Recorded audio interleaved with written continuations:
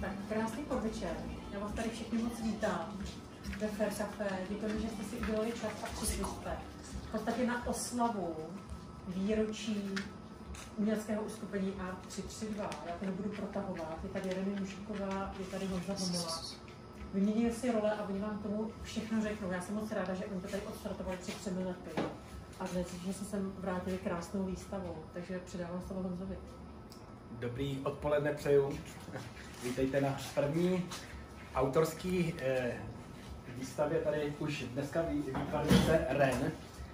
Eh, my jsme teď na místě, který je eh, pro nás hrozně významný tím, že my jsme tady před třema rokama, skoro na den přesně, eh, začali s projektem, který se teď jmenuje Art 332.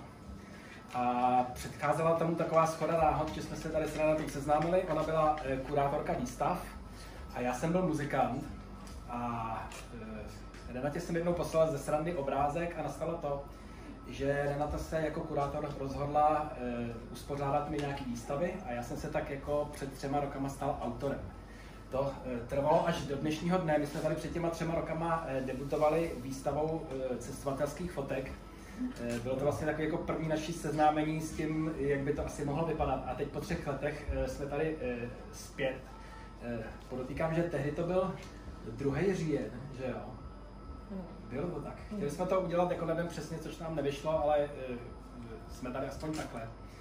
A vyměnili jsme si teda role za ty tři roky pod projektem Art 332. eh, a Hlavně tady Renata uspořádala z mnoho výstav, na který já jsem musel plodit jako autor v obrazy, fotografie. A teď vlastně nastal moment, eh, kdy jsme si řekli, že bychom si to mohli vyměnit. A nastalo to tak, jako u nás bývá běžný, že si řekne něco ze srandy. A to se nám tak zalíbí, že se toho chytneme a začneme to brát vážně. Takže teď vlastně eh, nedávno eh, jsme si řekli právě toto. Já jsem ti řekl, teď budeš malovat ty a ty si řekla, já ti to budu kurátorovat. A nyní, eh, po docela krátké době, tady vidíte, že eh, z Reny se stal velice plodný umělec. Eh, Stalo se vlastně to samé, co já jsem si prožil tehdy před Mánesem, kdy Reny jako kurátor mi domluvila výstavu, která byla ve významné gal- galerii a já na to měl tři měsíce, takže jsem se docela zapotil. Takže jsem si tuhle otočenou roli docela vychutnal s tím, že jsem na Reny tak trošku nenápadně tlačil, že je třeba vystavovat. Samozřejmě v pohodě. A Reny eh, neuvěřitelným způsobem začala plodit, začala eh, posílat eh, barevný takovýhle eh, svoje, já jsem, my jsme se rozhodli to nazvat krásný obrázky, protože mě tenhle název napad jako první věc, kdy jsem se na to podíval, tak jsem si říkal, spontánně se to musí jmenovat krásný obrázky. Takže Remy začala malovat takovýmhle stylem a my jsme tady byli v Ploskovicích, tak když jsme dneska nainstalovali tu výstavu, tak jsme jeli tady do Ploskovic, eh, do krásné zámeční zahrady. A povídali jsme si o všem možným a René se mi ptala, o čem furt tak přemýšlíš jako mezi tím.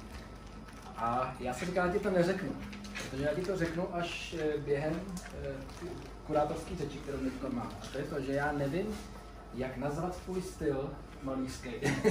protože jsem vám chtěl představit, Reny je zastupitelkou tohoto a toho, toho stylu, jako někdo e, maluje jako kubismus, někdo je realista, ab- abstrakce a tady to. A já to vlastně nevím, protože jsem kurátor, který se v tom nevyzná. A nakonec jsem vlastně přišel na to, že to je úplně jedno, eh, jak se to jmenuje. Eh, Protože tohle je spontánní tvorba a jestli si někdo řekne prostě, je to víc do kubismu, protože tam máte hranatý věci, nebo je to prostě nějaký infantilismus. To by mohlo To by být. se tak tohle nám udělal tady. A eh, ještě bych chtěl říct, že eh, Renata je velice nervózní teď. A já ji poprvé vidím, že je nervózní, protože ona si poprvé vyzkoušela to otočenou roli. Vždycky to bylo opačně, že já jako autor jsem byl hodně nervózní. To A ty jsi byla vždycky v klidu. Myslím si, že já si to užívám.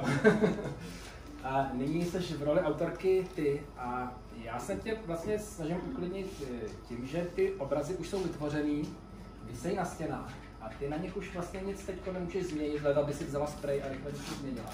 Takže není třeba, aby si byla nervózní. Tvý obrázky jsou krásný, proto jsme to nazvali krásné obrázky. Jsou barevný. Já hrozně osobně třeba mám rád barevnost, eh, jediná, jediný černobílý obraz, který jsem si který jsem tady všiml, je tento. A jinak je to všechno barva.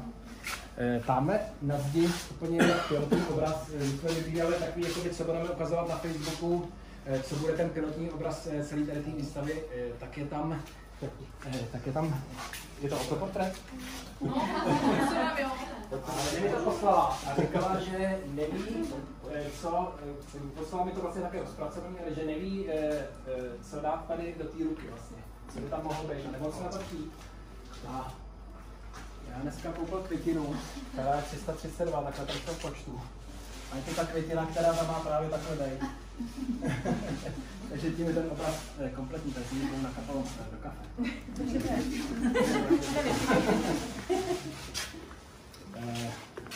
umění, já tak jako umění se pohybuju hrozně krátce a jako kurátor jsem tady dneska poprvé, ale všim jsem si jedné věci, že k umění vlastně nepotřebujete nic moc říkat, stačí, když ty lidi si projdou galerii, podívají se na ty obrazy a udělají si vlastní úsudek, takže není třeba nějak, nějaký větší nápovědy.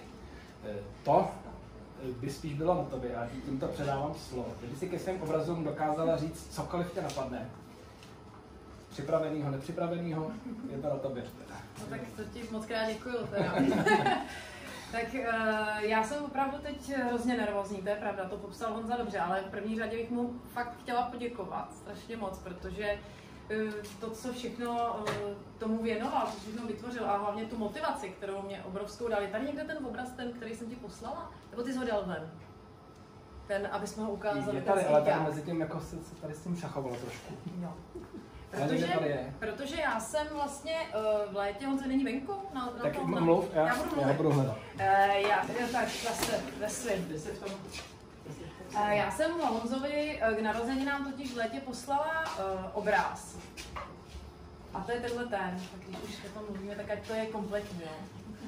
A to je Honza, jak jede na skateu ve Vršovicích a on se tam teda dokonce jako i poznal, ale právě řekl tu ostudnou větu, jako malo, já ti udělám výstavu, když budeš malovat. A já jsem to fakt vzala jako velký hec a velkou výzvu a mě to fakt hrozně motivovalo a já jsem v létě byla eh, na dovolený v Krumlově a ono bylo tak krásně a všechno bylo takový příjemný. A já jsem si říkala, tak proč to neskusit? A tak jsem se tak různě, uh, jako opravdu tím jenom bavila, jo. Takže tam třeba na těch uh, obrázkách, které jsou takový, já, já se, víš, já se vystříhám úplně takových těch Eh, těch slov, jako že je to narrativní exprese a takhle, jo, tak jako vůbec úplně to nechám. Takových těch eh, bláznivých obrázků, tak jsem se tam uh, ani nechci říkat inspirovala, ale vždycky něčem, něco mě tak jako motivovalo, takže třeba tady na tom obraze, o kterém jsi mluvil, že je tam něco takové černobílý, tak to by měl být jakoby Karel Gott, jo, ten, ta černobílá to, a to je Honzovo tatínek, a to jsem já, když jsme připravovali homoloviny. Já bych byla... jenom podotknul, eh, kdo si myslí, že můj táta, že si to vlastně takhle jako vyfantazírovala Renata, že mu udělala modrý fousy. On takhle opravdu vlasy. vypadá. On také to opravdu je, vypadá. To, tohle by se dalo nazvat, že to je docela realistický portrét jeho tatínka. Takže jo, pak tady vlastně, eh, tady ten obraz, tohle je, eh, to jsem já s Klárou Sedlo, protože to je malířka, který eh, já dělám docela dost výstav a tady jsem si úplně drze dovolila vlastně namalovat její obraz, jo, protože tohle je, no, jakoby, ano, to je Kláry obraz, který teda ona mě věnovala a ona mi pak říká, tenhle obraz nesmíš prodat, protože teď to bude série, ten můj bude vyset vedle tady toho tvýho. A já jsem říkala, aspoň, říkám, a nevadí, a furt mi tam něco chybělo a neměla jsem tam tady ty nožičky jako domalovaný. A já jsem říkala, hele, já mu udělám takovýhle bílý jako nohy. Domalovala jsem to tam, říká pro sebe a poslala jsem jí to a on říká, já jsem dneska v noci spala v bílých teplákách. A já v nich jako v životě nespala. A teď to dotukla. Já říkám, Kláro, vidíš, co nám tady, teda tady taky Klára. Tady jsem se pokusila jenom o takovou, jako trošku nějakou snovou záležitost. Tamhle je eh, Krumlov, tamhle je obraz, který teda Honza, ten si vybral jako opravdu pilotní, že jsem líbí. Tady pak jsou nějaký uh, moji přátelé, uh, tady vlastně nahoře na tom obraze je kamarád, eh, fotograf, který mu taky hodně dělal výstavy, on teda slíbil, že dneska dorazí, nevím teda, jestli přijde, nepřijde, uvidím. Jirka Mach, eh, který tam jede na svém obrovském psovi mamutovi, tam asi bylo 12 nebo 13 let. Eh, tady vlastně na tom obraze dole, tohle to se zase týká Honzy, protože to je jeho pes, a on natočil kdysi takovou velice působivou grotesku tady s tím kuřátkem, a eh, teda, který je ve skutečnosti trafikantem a to není mm, pes, ale to je kůň, jo, takže podání Honzy a mi se to strašně líbilo, tak jsem to vlastně udělala. Tady to je vnuk mý velmi dobrý kamarádky s jejich psem a tady to pak už jsou přátelé. Tady to jsem teda měla být já v Kazaně, nakonec by z toho vylezla moje maminka který to teda bylo jako daleko víc podobnější, kamarádka s dětma, tady to taky moje kamarádka. No a teď bych se dostala jako k nejdůležitějším asi postavám a to bych zase předala slovo kurátorovi, protože ten se s nima zná osobně. Já se s ním znám osobně, ale já si za boha, já jsem už během kurátorské řeči začal přemýšlet na, na, na, na, jeho jménu. Hášenek, Hášenek. Bezucho, což je, zase bys o tom měla mluvit ty, jak nemůžu mluvit o kultovní postavičce tvého mládí. To je totiž to je dětství, mládí mám furt, ale no, to, tohle to, tohle to jsou totiž jako dvě hrůzy, který, ta jedna teda tam mě provází životem. Tady ten, tenhle ten uh, opičák, medvěd, já nevím, co to má být, je stejně starý jak Honza, je už 40 let a vytvořila mi ho moje maminka kdysi, že ještě nikdo vůbec, znali jsme čeburášku, ale nikdo nevěděl ještě vůbec, co jsou to nějaký mončičáci. A maminka někdy jsme měli doma takovou tu hnusnou panenku, kterou určitě si pamatujete, takovou tu klinkací, jak to mělo takový ten strašidelný obličej. Tak maminka eh, to nějak rozmlátila, vzala tady tu hlavičku z toho a ze starého kabátu, nějakého kožíšku, mě udělala tady toho eh, paňáčka kterým já jsem prožila jako celý, celý dětství a fakt jsem ho všude měla, strašně jsem ho zbožňovala. Až pak se někde vypařil. Jo? A kdo znáte ty dětské hračky, že jo, kterým jste měli nějaký velký vztah, tak mě to strašně mrzelo. A teď nedávno máma mi řekla, že ho někde objevila v krabici. Já jsem ho měla oplakanýho, všechno jako, a teď to nalezení, jako jo, ten pocit, jako, že po těch letech, jsem říkala, no tak to je model. No tady ten slon, ten je ten takový z popelnice, taková jedna záležitost, kterého mě bylo hrozně líto, že byl někde u popelnice vyhozený a on neměl jedno ucho. Tak já mu právě jsem dala to jméno Bezuchov, tak jsem ho měla jako jakože prostě dlouho takový talismán, který se mnou procestoval uh, hodně jako světa, že je to takový talisman, který uh, opravdu se podíval do koutů světa. No a teď vlastně uh, nedávno, když Honza mě v Krumlově naštívil a přišel se podívat, jestli opravdu nekecám, a jestli fakt jsem něco namalovala, jestli někde nestahuju z Google nějaký obrázky a neposílám je, tak si mě přišel zkontrolovat, tak se s nima dokonce teda osobně seznámil, takže vidí, že oni fakt skutečně existují, že to nejsou nějaké moje fabulace. Jo, takže uh, já bych strašně ráda teda opravdu poděkovala, že tady to si, tady to si celý takhle krásně spunktoval. A abych použila, to jsem si dneska jako jsem se podívala na naše video, který vlastně tady jsme uh, natočili díky uh, Honzovi Dostálovi a Petře Dostálovi, který nám tady umožnili uh, naší úplně první výstavu R332 Honzových fotek. Tak tam Honza vlastně říká takovou větu a díky Renatě, která mě tady k tomu dokopala, jsem vlastně udělala tohle tu první výstavu fotek. Takže díky Honzovi, který mě tady k tomu dokopal, kradu mu slovo, úplně mu to, úplně mu to vezmu tady tu větu, protože se mi líbí a je to pravda, takže po těch třech letech díky němu, že tady to vlastně vzniklo. Mě to bavilo, ty jsi mě udělal hrozně krásný léto, plný zábavy, plný barev. No a... No, já doufám, že v tom budeš pokračovat, to není jako jednorázová no.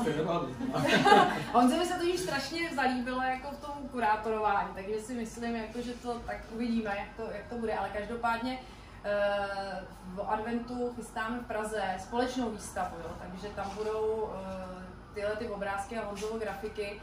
A já teda si neodpustím takovýto své kurátorský, protože včera jsme zahajovali na náplavce eh, vlastně bylo to v souvislosti i tady s tou výstavou, s tím naším tříletým výročím R332, tak vlastně ty fotky, které my jsme tady uváděli původně v takových malých variantách černobílých, tak ním přibyla jako spousta dalších barevných, eh, velkých a uvedli jsme je na pražských náplavkách, protože jsou to fotky cestovatelský z průběhu 20 let Honzova cestování a řekli jsme si, že by to bylo takový pěkný dát to dohromady. Takže kdybyste se někdo chtěli přijít podívat v Praze na náplavce, je to Kopka 6 na Rašinově nábřeží a na Smíchovské straně je to 12, tak tam má Honza velkou výstavu právě těch fotografií.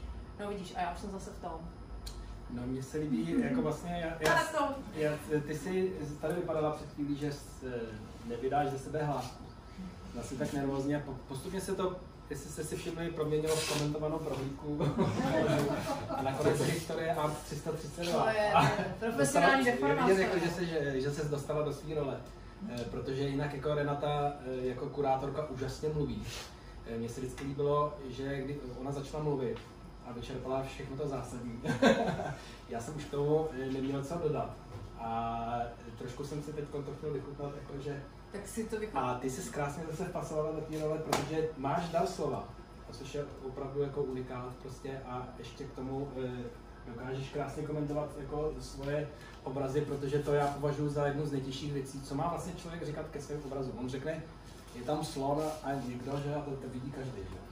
Tady je to tam nějaký hášenek, to došlo. Kolikrát je jako těžký mluvit o svých obrazech a my jsme i se rozhodli tehdy, že nebudeme dávat pod obrazy eh, popisky. Protože dneska je běžný, jako, že tam je nějaký popisek, je tam i třeba rozměr napsaný, eh, někdy tam bývá cena. Takže eh, tady to je úplně jako svobodná záležitost, eh, nezatížená tady tím, aby si každý byl trošku doprovázený tím, že si pod tím má něco představit, před- představit, takže je to úplně na volno takhle. No, tak je, no. Tak eh, Já ti chci poděkovat za to, že vlastně díky tomu, že, že jsme tady poprvé debutovali tady tím, že vznikl vůbec projekt Art 332, protože já jsem muzikant, kde se do života vneslo něco, e, po čem jsem toužil možná jako malý, protože původně jsem chtěl malovat. E, nakonec se mi to splnilo až teďkon. No a tobě se to plní teďkon, protože teď budeš malovat už ty. A já jsem se v té kurátorské roli trošku našel, takže už to takhle zůstane. Ne, tak jako já si myslím, že tohle to je mistr, to je opravdu tohle je takový to, že jako jasně mi to baví, ten základ toho je asi to, že nás to baví oba a já jsem strašně ráda, že Art 32 máme a, a fakt jsem ráda, že jsme zrovna tady a že si to tady tak zase oslavíme a doufám, že si pamatuješ, co jsme měli před třema rokama k večeři tady. Cezar. Tak, a ten si musíme dát. Tak jo, Tak jo. tak teď musíš říct tu jednu zásadní větu. Eh, A my to říkáme vždy- vždycky. My, eh, když instalujeme, tak říkáme tím, a je to pověší na, na zdech, tak říkáme, tímto považujeme instalaci za uzavřenou. A nyní eh, máme první autorskou výstavu, vernisáž, a tímto ji považujeme za odstartovanou, uzavřenou, vypálenou do vzduchu. Tak já jsem si teď strašně oddychla. Jo. já jsem si strašně oddychla. Teď to teprve ze mě spadlo, protože já jsem celou dobu čekala, co Honza chystá, co Honza chystá, jestli někde něco nevyletí, nebo jestli něco nestane, protože to je taky jako velký překvapovač. Takže děkuju. Neříkej ho. A dotazy, a ty dotazy. Samozřejmě, jestli máte dotazy, tak Děkujeme. jako, Já tady dotazy. Tak my teda děkujeme, že jste se rozhodli to tady jako oslavit. Děkujeme. To je odvážný. A protože jako jsem kytka prodávám. A nevíme, co má rád Honzo úplně. Klidně vyměníme, jestli tak. Ale teď to třeba vychutnáte oba dva, ale bude jedna baječná kamarádka. Je, to je nádherný. Nemám moc svíčku, ale já myslím, že to vůbec perfektní. Děkujeme. Děkujeme. já to nemůžu moc naklonit, ale je to tady, je to nebezpečný dole. 300, 330, pěkný. To je fakt.